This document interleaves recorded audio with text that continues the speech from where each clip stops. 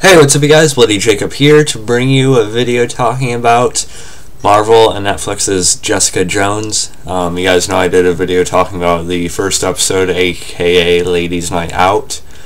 And uh, I'm about halfway through the season. I just finished watching episode 7, which is aka Top Shelf Perverts. And, uh, you know, I guess, uh, uh, sorry about that. Let me adjust the camera. Give me a second. Yeah, good enough. um, yeah, I just sort of wanted to do a like midway uh, thoughts video. You know, midway through the season. Um, like a girl, another girl. Oh well, I'm not a girl, but anyway, a girl I watch on YouTube. You know, she's uh, named Mighty Sofia. Her, she has uh, she has this like excellent reviews, like a very well thought out and like well spoken. Uh, you know, discussions really and you know, like she speaks is the way I wish I could speak. So I definitely uh, would want to check her out, you know, for her review on this.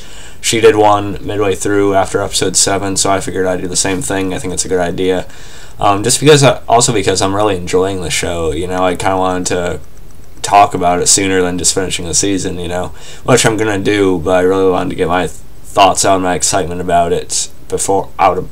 Uh, out about it beforehand uh, sorry, I can't talk right now for some reason. but uh, and of course, I'll still be doing a video when I actually do finish the season to give like my final overall thoughts on it. But I just wanted to let you guys know what I thought about it at this point I'm at, which is just finishing episode seven. Um, I think it's an excellent series overall, man. Um, Netflix and Marvel did it again. Uh, just uh, the tone, the atmosphere, uh, the acting is all very good.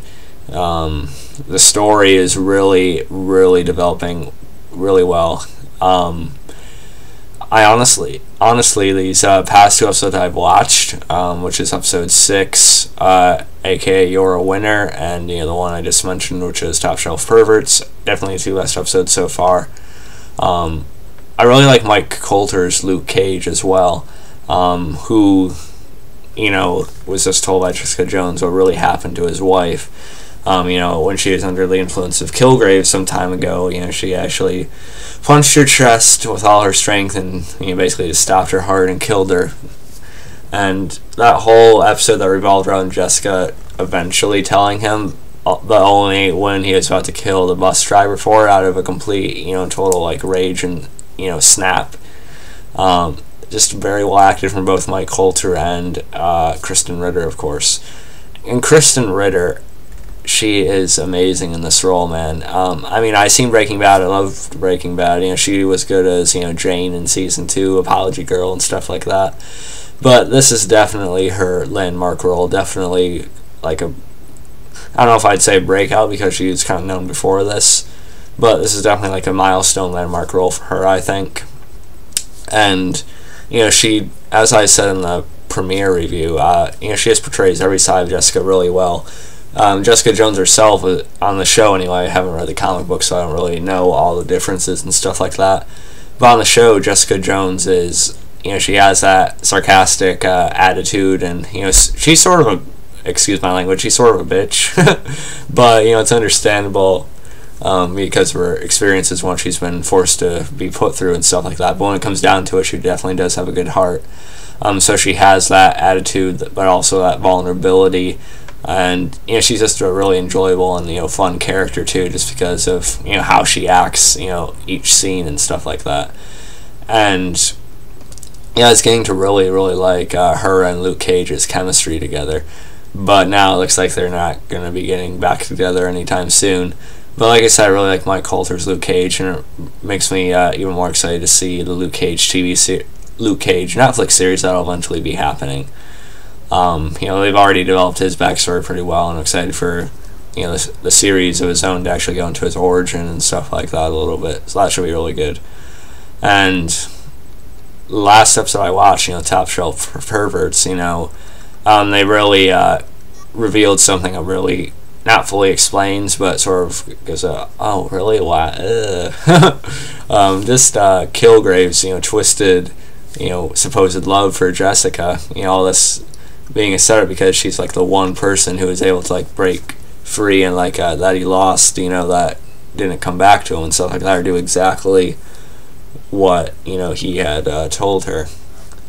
Uh, excuse me, I'm fixing my hair all over the place right now. um, that's just what happens when you care about your hair and you're looking in a camera the whole time. But uh, you know, Kilgrave as a villain, uh, def- definitely uh, David Tennant does a good job, you know, in the role. Um, I don't know if I prefer him, you know, to you know the Kingpin Wilson Fisk we got on Daredevil yet. Um, but really, they're two very different villains, and you know, on one hand, you know, Kingpin, you know, he's someone you could almost understand and sort of feel you know sympathetic for. And granted, I'm not all the way through Jessica Jones yet, so maybe there's something about uh, Kilgrave's background that could make me a little bit more sympathetic towards him or something.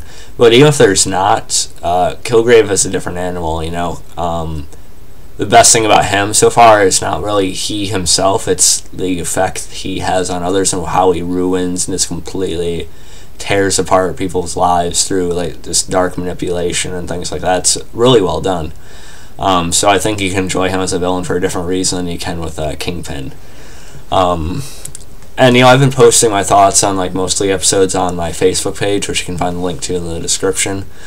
And you guys know, uh, you know, I've been saying I prefer Marvel's Daredevil, and I still do. But you know, it's just kind of because you know I already like the Daredevil character going into it and stuff, so I might have a bit of a biased opinion towards that. But uh, you know, if I do still prefer Daredevil by the end of uh, the season, um, I really think Jessica Jones has really found its voice. It really stands on its own. It feels like it's in the same world, and I like all the little references they have to like even the Marvel movies. You know, like them constantly bringing up, not constantly, but once in a while bringing up the Hulk and you know the Avengers or the Red, White, and Blue guy and stuff like that. Um, you know, it's really cool. So it feels like it's in the same world, but all at the same time, it has this unique tone and sort of like noirish, you know, sort of dark humored, grimy world that I just really think is very unique to this series alone. And you know, I cannot talk enough about. I already talked about Krysten Ritter, but you know, she is just a gift to the show. You know, she is just uh, amazing in the role. And uh, yeah, I'm definitely gonna. I might watch one more episode tonight, but I'll definitely get through the season probably within the next uh, week or two. Um, I would say that maybe by the end of this weekend, but you know I'm kind of gonna be busy on you know like Friday, Thursday and Friday for Thanksgiving, but you know I'll definitely be finishing the season within the next couple weeks, and when I do, I'll definitely do a video talking about it. Um, you know, of course, I could go back and give like each you know specific thought on each specific episode, but uh, you know, there's just way too much to talk about. And if you like Daredevil, definitely check this one out. And if you didn't like Daredevil and you like uh, good psychological, you know, dramas and stuff like that, I'd definitely check this out. You don't have to love the Marvel movies to really enjoy the show either. Um, I enjoy the Marvel films, don't get me wrong, but shows like uh, Jessica Jones and Daredevil are on completely different levels compared to any of them. Um, let's see. Uh, of course, I'm looking forward to the Defender series as well. Uh, I'm also still hoping for a Matt Murdock, you know, Charlie Cox Daredevil cameo in this season Jessica Jones. You know, crossing my fingers, but we'll see. Either way, I'm excited for those characters to come together. It should be epic as hell when it actually does happen. Um, you know, I also like the flashback they showed to Jessica as a child at the end of episode seven. Um, the girl looks almost exactly like her as a kid too. It's kind of cool. Um, I also like Trish, you know, Jessica's best friend. You know, I like the actress they have for her. Um, Simpson, you know, he's a good side character. You know, he's kind of a likable guy. Um, I also liked episode four. You know, uh, aka ninety nine Friends, and you know, with the lady who tried to give her, you know, who gave her a job, and then she ended up turning on her and you know, shooting her in the shoulder and stuff like that. Great scene because Jessica ends up snapping because you know the blame that's put on her and everyone else because of you know, like the recent events, the battle in New York City because of the Avengers and stuff like that. Um, yeah, just a great series. Uh, I really wish I could get more specific about it, but if you guys want to see a more specific video about the show, um, like I said, go to EmmightySofia's channel. and she does more in-depth reviews than I do. Um, but really, I just wanted to give you my general feel about it, and I just think it's excellent.